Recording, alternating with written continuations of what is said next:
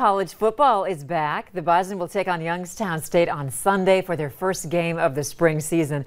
The Farmers Union Insurance pregame show starts at 1.30, taking you all the way up to kickoff at 2.30.